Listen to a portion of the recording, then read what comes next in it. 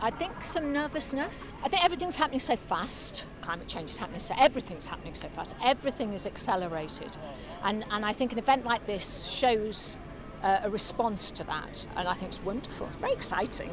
So a lot.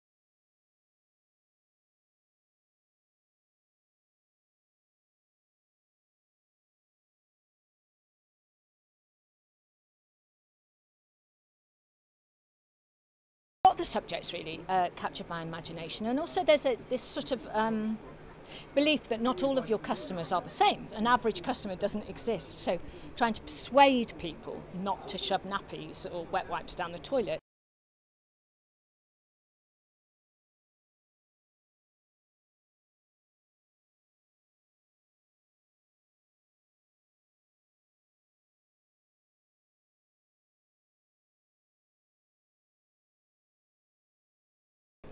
I think it requires different elements of persuasion, for instance. I was in the one that was over there, is that AI? Use of AI. Uh, but it's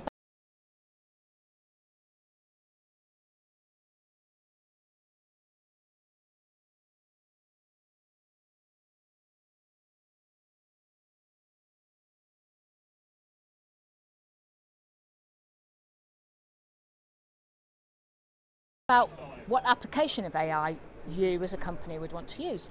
So, uh, so that was really interesting because we, we're nerds at home, so we talk about these things anyway. Really interesting.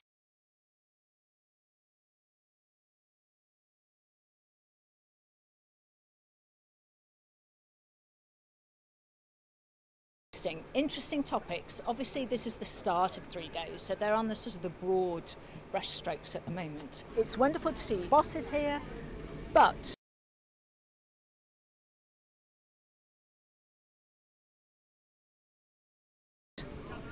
so many, they understand that so many people here, they've got the answer, that they know how to run a company, but they don't know how to fix these problems. And it's that belief and, and trust in each other, really. The girls still got it, baby. Yes! Yes.